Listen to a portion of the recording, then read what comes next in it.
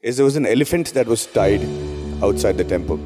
And um, on the back leg of that elephant was a rope, a silver rope that was tied, but it wasn't anchored to anything. The elephant stood there for the whole day and it did what it was bid to do. So I asked this man, I said, Why have you tied a rope around the leg?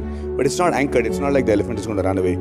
He said, Forget about running away, it won't even move. The elephant is going to be there. And I said, How did that happen? So, what they do is they take a young elephant, three, four months old, they tie a twine around its leg, the same bright uh, uh, uh, rope, and they tie it to a small sapling literally.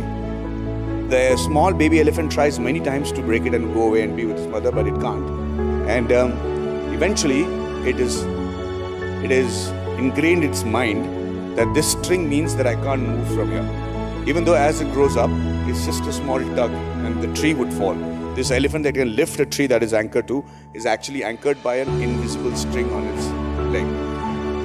Ma'am, I can't tell you how many of those invisible ropes we try around our brains because of our conditioning and the way that we are brought up in our, in our uh, society and in our um, uh, cultures.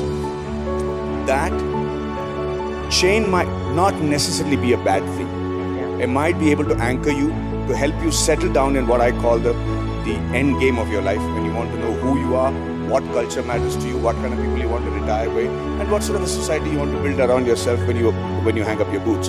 But that change should not come into place when it comes into innovation and, to, and to reach the kind of goals that you didn't even imagine existing.